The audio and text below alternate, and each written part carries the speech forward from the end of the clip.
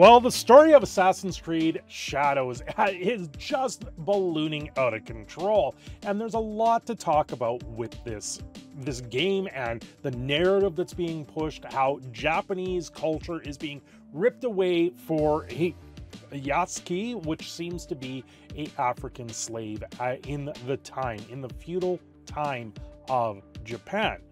But a lot of attention has turned around on what Ubisoft is doing behind the scenes, what they're doing, how they're pushing these DEI policies into the video games, and who is involved with them. Story starts at that park place, and I'm going to show you quite a bit of other things going on in around behind the details of this game.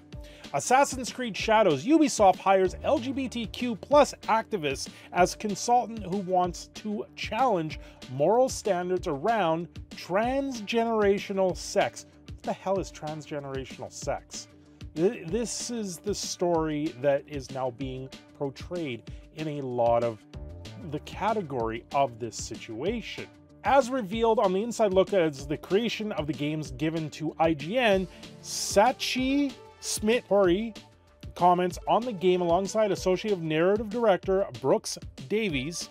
IGN details that Smith is working with the Ubisoft on Assassin's Creed Shadow, but does not provide further details as to what her involvement is. Outside of her work of Ubisoft Assassin's Creed Shadow, Smith is a associate professor at Dartmouth in the University of Arts and Sciences Department. Biography on the website confirms she is an activist. I am interested in investigating how gender, sexuality, corporality, and power are represented and negotiated in pre 17th century Japanese narratives and illustrations. My first book, Tales of Idolized Boys Male to Male Love in Medieval Japanese Narratives, is a medieval Koji Monogatari Buddhist acolyte tales often which often depict romantic relationships between Buddhist priests and adolescent boys. That's kind of disturbing. Uh, this is back a very long time ago in history, so I wouldn't look too far into this because you're going to get a narrative that probably will warp your mind. I don't want to go too much further into that. But this is this was from the trailer that was put up on IGN for kind of a behind the scenes of the team that's working on Assassin's Creed Shadows.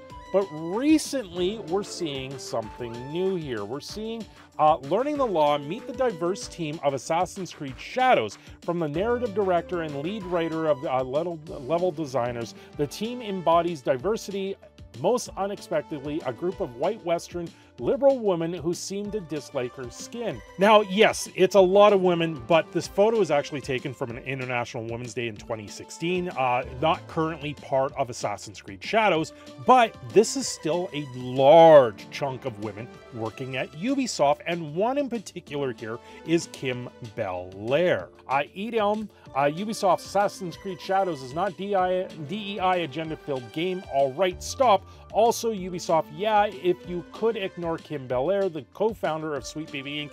in this photo, it'd be great. Thanks. But from the quartering, Ubisoft has been melting down internally over criticism of their DEI efforts quadruples down internally. So this is an internal document that obviously is being spread around in uh, Ubisoft right now because things are just completely off the wall. Everyone's talking. We talked about the war on Wikipedia, and now obviously they're getting a lot more inside of what's going on in Ubisoft. Given the current polarization of the topic online, we believe we are having a respectful and constructive dialogue is difficult, if not impossible, to achieve. In this context, we ask you not to engage or interact with conversations as you could worsen the situation yourself.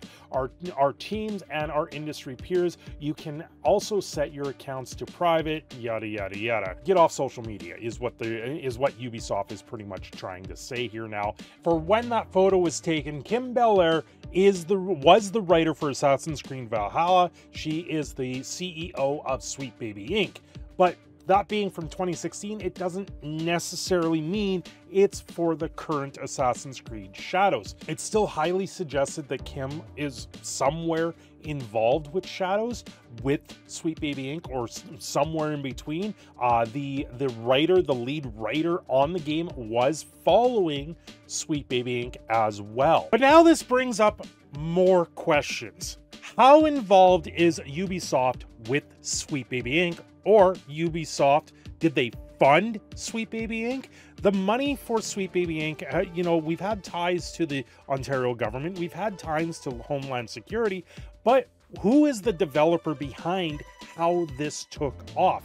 Now, when Valhalla was being written by Kim Belair, she also started Sweet Baby Inc. full time. So she was writing Assassin's Creed Valhalla from January 2019 to uh, July 2021, and Sweet Baby Inc. was done in May 2018 to present, still ongoing. So you've got to wonder because they also list Ubisoft on the website where did the money come from for Sweet Baby Inc. And it really does look like Kim Belair never really left Ubisoft with her with her resume here. She worked on For Honor, Far Cry 4, Assassin's Creed Syndicate, uh, Far Cry New Dawn, uh, also Electronics Arts, which uh, I, I, know that they've done things together with Ubisoft. Now, who really is Kim, Kim Belair? She's the CEO of Sweet Baby Inc., but she's also the one the the person that went to the game developers conference and sat there and told told people out there that if you're not getting your way in the video game space to tell the stories you want to tell, to change the stories to this DEI more diversity push, then they said she said take your marketing department out for a coffee and terrify them pretty much with cancel culture. It's absolutely pathetic. Um, if you're a creative working in AAA, which I did for many, many years, um, put this stuff up to your higher ups.